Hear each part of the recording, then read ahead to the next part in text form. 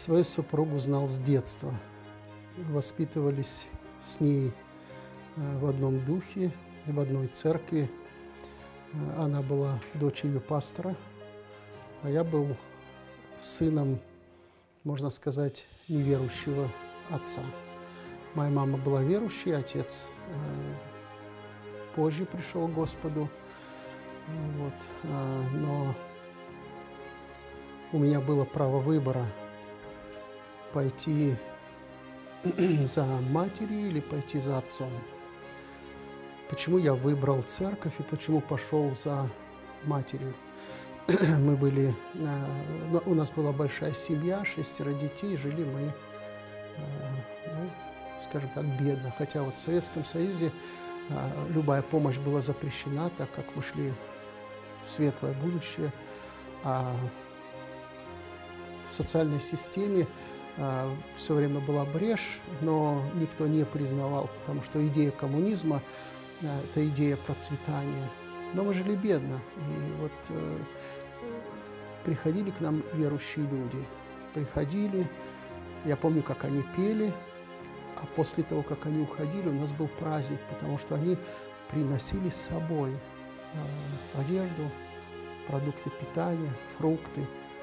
И вот этот добродетель меня купил, потому что э, я был мальчиком, э, у меня была возможность сравнить людей, которые неверующие, э, и людей, которые принадлежали церкви. И вот их добродетель меня купила, я с радостью шел в церковь. И, может быть, в самом начале это, конечно, была, ну, скажем так, идея ну, что-то получить, что-то взять. Э, но со временем я, посещая церковь, смог понять, что такое настоящая Божья благодать. И да благословит вас обильно Господь. И всех нас. Пусть Бог обильно благословит быть верными до конца жизни. И тогда, когда мы предстанем пред Богом, мы можем услышать хорошо, добрый и верный раб – в малом ты был верен, над многим тебя поставлю. Добро пожаловать в царство Отца твоего. Аминь. В 1984 году я э, подошел к ней, сделал предложение, она согласилась. Э, в принципе, я не ожидал другого ответа, потому что мы друг друга знали, но все равно какие-то переживания были определенные. Вот. Но она согласилась, сказала «да». И вот в 1986 году у нас родилась первая дочь, в 1987 году родился сын, в 1988 году родилась дочь, потом сын, потом дочь, потом сын, сын. В общем, а, я помню, как люди мне говорили, что вы делаете? А я говорил, ну ничего, а поэтому у вас столько детей. И некоторые говорили, вы вот это, ну, Э, растите бедноту и так далее. Но я им скажу, что с женой мы никогда не обсуждали, сколько у нас будет детей. А мы радовались, что Бог нам дает детей.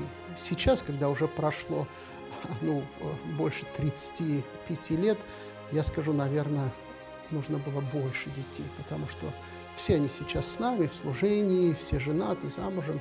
А, кроме одной девочки, которую мы взяли из Грозного. Во время а, войны чеченской мы взяли в свой дом а, девочку, и сейчас она тоже здесь живет с нами в Санкт-Петербурге, ей ну, уже, ну, скажем так, она уже в зрелом возрасте, но пока не замужем. И вот э, я скажу, что э, было действительно тяжело, было сложно, э, было 27 лет, и вдруг э, она ну, как-то даже э, неожиданно для нас, а, так как мы уже были, э, жили в Санкт-Петербурге, она оставалась и остается до сих пор жить э, на Северном Кавказе, во Владикавказе, звонят нам и говорят, вашей дочери Алене плохо. Вот, ну, сильно плохо. И, конечно, мы не знали, что за болезнь, какая болезнь. Э, так как я жил долгое время на Кавказе, было много знакомых, много э, вот, э, людей из медицины знакомых. Я позвонил одному, второму, третьему. И обнаружили у нее значит, жидкость в легких. Мой друг звонит мне и говорит, ну это серьезные проблемы. И приходят, приходят врачи разные и дают определенные диагнозы и говорят, а это, наверное, туберкулез, а это, наверное, вот, ну и, в общем, какие-то свои догадки. И э, я одному человеку здесь уже в Санкт-Петербурге, врачу, я сказал, слушай, э, ну так и так, жидкость в легких и жидкость в, область сер... в области сердца. И там говорят туберкулез. Э, и он мне говорит, врач местный здесь, он говорит, ну, если это туберкулез, то радуйтесь, то, может быть, совершенно другой диагноз. И этот человек, э, он значит, сказал, что ее нужно перевозить в Санкт-Петербург, потому что все-таки ну, медицина ну, отличается э, от нашего города и Владикавказа. Специалисты разные, оборудование разное. И вот мы нашли человека, который на протяжении там, определенного времени выкачивал жидкость с легких, и э, мы попросили одного врача э, выкачать жидкость из области сердца. И это было очень, ну, скажем так, сложно, ответственно, и человек взялся за это дело. И вот когда выкачали э, э жидкость, она почувствовала себя хорошо. А мы взяли билет на самолет. Это, это удивительно тоже, это, это риск, потому что, в принципе, а, транспортировать такого человека нужно было обязательно в сопровождении врачей, но мы понимали, ну, кто будет этим заниматься, у него прописка Владикавказская и так далее, кто будет заниматься. Ну, в общем, э, мы взяли билет, и на удивление она шла бодро. Она э, села в самолет вместе, э, летела с моей женой. И вот они только вылетели с Владикавказа, а я на машине приехал в аэропорт Пулково. И вот пока они летели, я все время молился. И я вам скажу, что а, ну, пастор церкви я уже со стажем, и люди часто обращаются. И очень легко сказать, отдайте все проблемы Господу, Бог решит, Бог взял на себя все грехи, Бог понес все болезни. А, я скажу, в тот момент, когда я столкнулся с тем, что моя дочь болеет, это все было провозглашением нет, было сочувствие. Я, я очень человек сочувственный такой. И, конечно, мы могли с людьми поплакать и помолиться, но это чужая боль, а это своя боль. И я скажу, что долгое время я не мог сказать, Господи, да будет воля Твоя. Вот я не мог, и все. Ну, в общем, э, возвращаясь к тому, что они э, летят самолетом, связи нет, как она себя чувствует, что будет, у нее же только что выкачали жидкость из области сердца, что будет. В общем, самолет сел, и э, пришла в области, значит, зоны действия. Я э, набираю телефон, звоню, и моя жена говорит, это на удивление – она себя чувствует бодро, весело, э, то есть никаких проблем, как будто бы нет никакой болезни. Ну и э, мой знакомый походатайствовал так, что мы поехали в военно-медицинскую академию, там нашли место, мы ее привезли, значит, врачи стали обследовать. Ну и э, во Владикавказе она лежала в реанимации, и врачи уже дошли до пика определенного своих возможностей. А здесь, в Санкт-Петербурге, они, значит, э, ну, посмотрели на нее, живой ребенок, э, вот все нормально, и поместили ее в палату. Мы обрадовались, помолились, поблагодарили Господа, поехали домой. Через 20 минут звонок. Ваша дочь в реанимации. Мы возвращаемся, в реанимацию не пускают, а, она никакая. В общем, а, это состояние, а, когда она была в реанимации, билось две недели. И э, через неделю нам сказали, что у нее рак – четвертая стадия, и вам нужно с ней попрощаться. Я, э, моя жена, она такой смелый человек. А это, это, вообще, я скажу, женщины гораздо сильнее, чем мужчины. Вот. Моя, жен, моя жена всегда с ней, в реанимации, дежурит. А я сижу тоже целыми днями в машине. И вот когда Алена пришла в себя, то есть ей морфин колят, страшные боли, и врачи ничего не делают. То есть они нам сказали, что у нее значит, вот, ну, злокачественная вот эта болезнь, рак. И первая моя реакция, ну давайте, ребята, что-то делайте, химию давайте, потому что вот, ну, как-то нужно спасать человека. Но врачи очень спокойно, вот, и мой э, вот, друг, брат в Господе, он говорит, Петр Анатольевич, можно сейчас сделать общую химию, но тогда можно испортить весь процесс лечения. Он говорит, давайте так, если мы верим Господу, доверяем Богу, и этот момент тоже. То есть не нужно спешить, не нужно торопить врача. Вот как оно идет, так идет. А, и опять, конечно, это же слова, то это же тебя касается, твоего ребенка.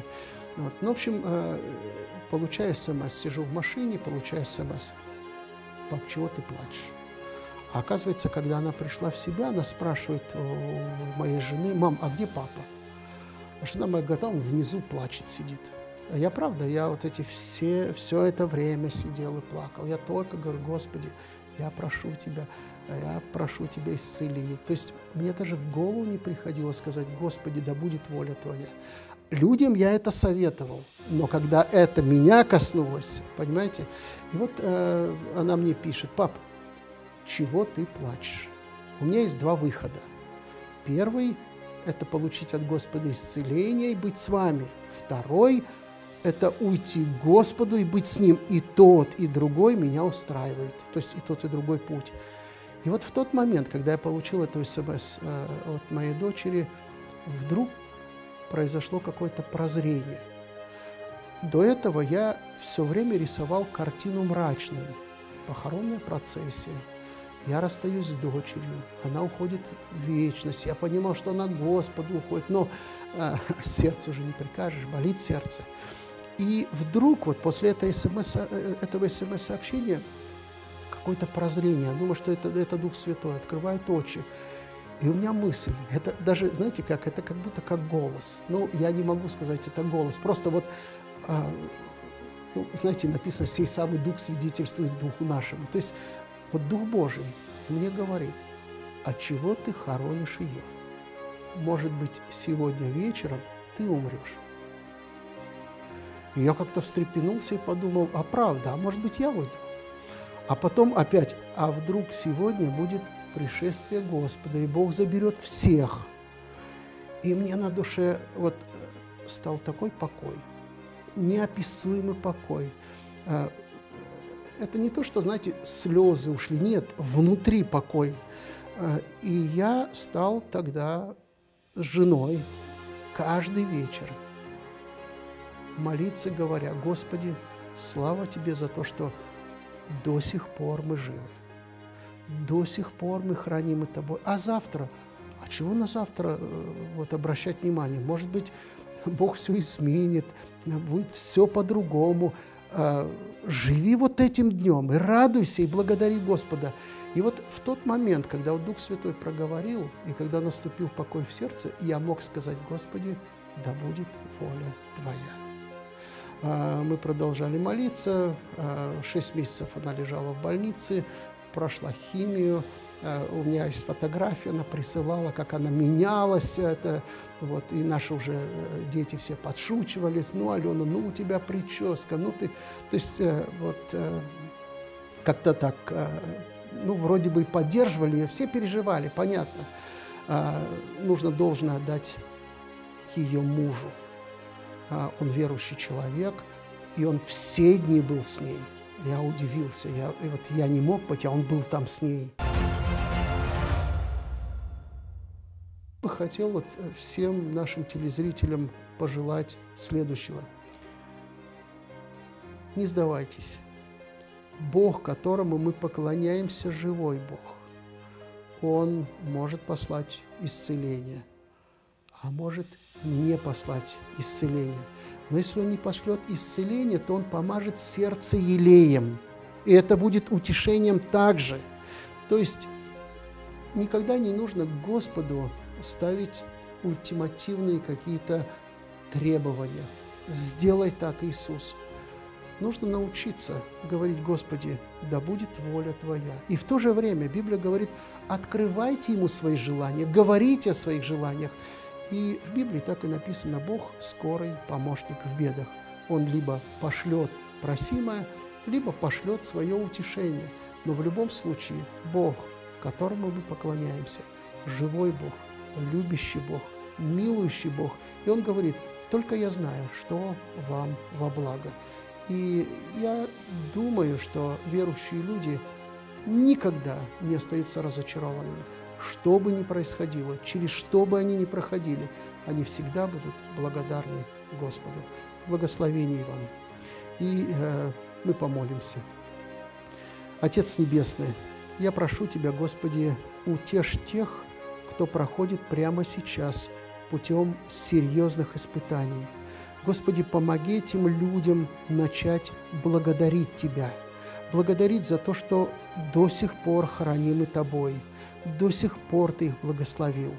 Я прошу Тебя, Господи, утешь тех, кто, может быть, лишился кого-то, кто-то остался, может быть, наедине со своими проблемами. Господи, помоги и благослови, чтобы в церкви находили утешение, чтобы родные и близкие жили, радуясь друг другу. Укрепи, Господь, поддержи и защити. Я благодарю Тебя за то, что могу об этой истории, истории жизни своей, поведать многим людям. Господи, помоги нам всем поддерживать друг друга, благословлять друг друга и благодарить Тебя за все, великого, вечного Бога, Отца, Сына и Святого Духа. Аминь.